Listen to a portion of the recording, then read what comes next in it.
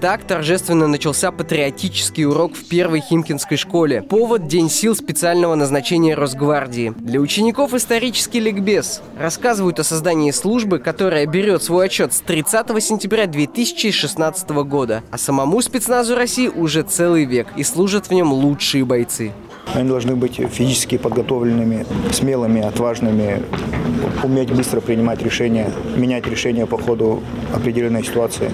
Тимур Бодреев знает об этом не понаслышке. Он капитан запаса Росгвардии. 15 лет работы в органах. За плечами 4 командировки в зону специальной военной операции. Встречи с участниками СВО регулярно проходят в рамках проекта «Химки. Успех в единстве поколений».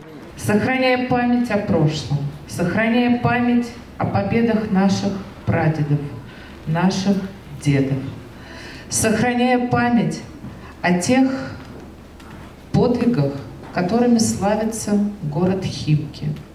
Все мы прекрасно помним, как Великую Отечественную войну именно на рубеже городского округа Химки не пустили немцев дальше в Москву. С момента создания сил специального назначения Росгвардии за подвиги и героизм государственные награды получили более трех тысяч военнослужащих. Шесть человек удостоены высшего звания Героя России. Андрей Панченко, Олег Тюрин, Вильфред Демковский. Новости Химки ТВ.